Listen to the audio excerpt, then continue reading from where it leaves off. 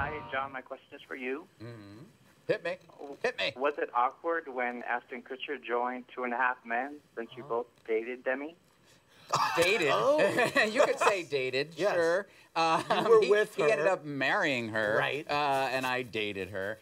Uh, uh, yeah, it was a little awkward. If it makes you feel any better, he did sleep with one of my ex-girlfriends. Great. But she was my current girlfriend at the time. So. Oh, ouch. Wait, he Okay, slept with her while you were together?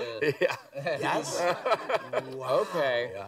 Well, it was uh, I think the the catalyst that that uh, That broke you up. broke no that broke him and Demi up. Oh, geez. Oh, God. This is this is way. Yeah. Okay, I need a drink.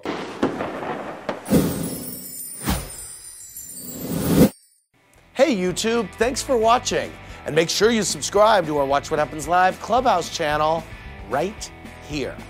And to watch more videos, click here and here. See ya.